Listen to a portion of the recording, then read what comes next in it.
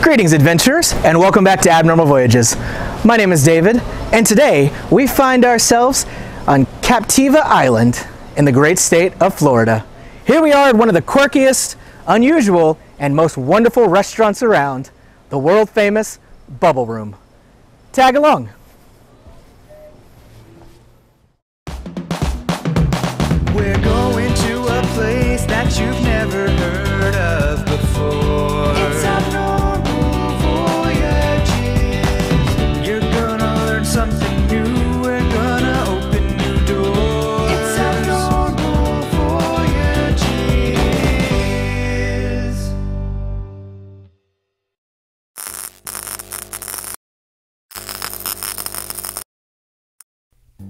Even from the outside, you can tell that the bubble room is something unique. With vivid colors and wonderful little pieces all over the top of it, this place is begging to be explored. And once inside the actual bubble room, it does not disappoint. This place is just as quirky and eccentric as you would want it to be. With an unending assortment of things placed throughout the restaurant, as well as vintage photographs all over the walls, your eyes aren't even going to know where to look first.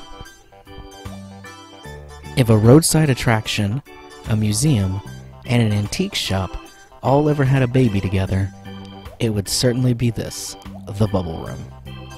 But why that name? Why is it called the Bubble Room? Well, this location takes its name from the wonderful bubble lights of old. They happen to have these in almost every room there, and the Bubble Room just sounded catchy. If you look up, you can see the bubble lights lining this entire room, bubbling away and filling the space up with colorful, cheerful light. They certainly add a unique and character filled vibe to this wonderful location. And if you look closely, you may notice that most of the photographs that are on the walls have to do with old actors, old movies, just that golden age of Hollywood in several of the rooms, as well as random knickknacks here and there. But there's some other great things about the Bubble Room, such as the fact that here at the Bubble Room, every day is Christmas Day. So, of course, they had to have a classic Christmas tree and plenty of decorations just to get you in that holiday spirit. As a matter of fact, every room has its own theme going on. Here they celebrated Humphrey Bogart and other Golden Era stars. But one of my favorite rooms was the 20,000 Leagues Under the Sea. It was almost like you had dived right in, and there was nautical nonsense all over the place. There was one of the original movie posters, as well as some delightful paintings here that almost made you feel like you were sitting in the Nautilus. Speaking of the Nautilus, they had an example of it right here, all lit up and ready to go explore those ocean depths. And what would undersea adventure be without some fishy friends? One side of the wall was completely filled with these colorful guys as they swam back and forth on the ocean floor. Now, vintage things are usually pretty cool, but sometimes they can be a little on the creepy side as well. This room here, with all these caricatures made in statue form, it was a little unnerving. I'm not sure if I would have been able to sit there and have these guys looking at me the whole time. But on the other hand, the vintage Disney room was pure delight. It was great seeing the iterations of these famous characters. There was even a baby Groot hanging out. I guess he likes being underwater. But peeking into these displays was almost like a little museum of its own, seeing these old Disney relics and things that used to be sold in stores. Mickey Mouse has always been a very popular guy, and this proved that he honestly hasn't changed all that much. There was even a giant Mickey hanging in the rafters, just to keep an eye on things. No matter who you were or what age, I think it's safe to say you'd find something here that made you smile. Another very creative area was the Alice in Wonderland section, where several characters from the beloved book had shown up to have a little tea party, just for your amusement. You just had to make sure you didn't get on the bad side of the Queen of Hearts. She could get a little testy at times. Honestly, I feel like this is one of those places that you could come back a hundred times and still see something new that you hadn't seen before. There was just that much to take in. It was truly a feast for the eyes. But speaking of feast, what about the food? There was no way we could miss out on having dinner here. By the way, even the tables are decorated with fascinating things inside them. They really go all out. The menu fit in perfectly, having a scattering of different things, most of them seafood related, which made sense here on an island, and I was certainly eager to try something yummy. And keeping with the theme, when you order a Coke, you get this delightful bottle just to make you feel a little special. Not to mention, our section happened to come with a little entertainment as we ate, with these lovely dancing girls ready to show us their moves. So here at the Bubble Room, one of their famous pieces is this here, which is sticky buns and bubble bread. The bubble bread is supposedly delicious. We're gonna find out right now and throw it over to Blake. All right, so first we're gonna try the bubble bread. Very cheesy garlic bread. A lot of flavor. Definitely pretty good. Sticky bun.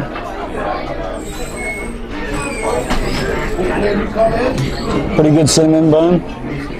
Maybe not super moist, but not as messy either as a normal cinnamon bun. I'm gonna have to give both of these four stars.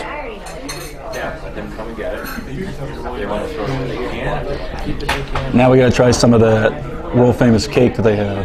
Let's see what flavors we pick. Cake is the Bubble Room's specialty. People come from all over just to get a slice of these delicious baked goods. They also know that picking your flavor is not only an important decision, but it can be a difficult one. So, your server happily brings out an entire tray with slices on it so you can see exactly which one you want. Today we had our choices of French chocolate torte, New York style cheesecake, red velvet, very moist chocolate, white Christmas, tropical breeze, orange crunch, and Jamaican rum cake. They all sounded delicious, especially when described by our Bubble Scout, which is what they call servers here at the Bubble Room. But why is that? Why are they called Bubble Scouts, and why do they wear uniforms? Well, we figured we needed to ask. I'm a Bubble Scout here at the Bubble Room. It was a restaurant started in 1979. It is a three floor restaurant with five different dining rooms. We wear Bubble Scout uniforms, and a lot of people are curious as to why. I'm here to tell the story. When we started in 1979, we were just a first floor restaurant. The owners lived upstairs, and they had a daughter. The daughter would go to school during the day, and as soon as she would get out of school, she would go to Girl Scouts. And as soon as she got done with Girl Scouts, straight to work, right in the uniform, never changed out. To make her feel a little bit more comfortable, they had the whole staff wear their Bubble Scout uniforms. And now everyone since 1979 has worn a Bubble Scout uniform to make that girl feel more comfortable. Now they have since moved out, but that didn't mean the tradition changed. We will still be wearing Bubble Scout uniforms probably until we are done. What a great story! But now, back to those cakes, which, by the way, you can buy and take home too. So I decided to get the White Christmas. Big coconut fan. Wow. That is really good. That's definitely a five star cake right there. All right, so I had to get a cake as well. He sold it to us really well. He said that this is the award winning Orange Crunch. Gotta try it, so let's see what it's like. Got a nice little orange here. I like that garnish.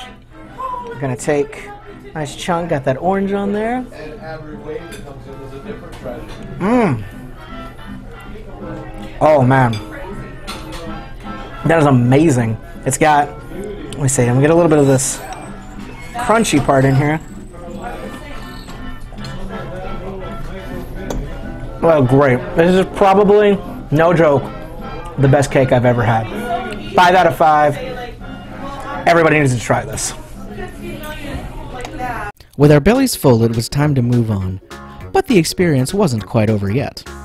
And of course, like any good Florida attraction, they have their very own gift shop. The Bubble Room Emporium certainly kept the spirit of the Bubble Room alive, and it was filled, once again, with wonderful, unique, and quirky things to see. Of course, the main point of this room was to be more of a store. However, there was so much to see, it almost felt like more of a museum than anything. There was even a section where you could buy some amazing vintage items that you could take home and I guess start building a bubble room of your very own. A really interesting piece of memorabilia on display was this working car that had been built for Shirley Temple. When she was young, they had built her this fully operational toy car. This was not for sale, but was really cool to get to see. Just like the main bubble room, this little store was packed full of amazing things in every corner. Wherever you looked, there was something cool to see. Plus, you could pick up a snazzy t shirt here if you wanted to. The vintage shooting gallery was really cool, and I only wish that it would have been operational so we could have given it a shot. Overall, this gift shop was an experience all on its own, and that's not something most stores manage to pull off.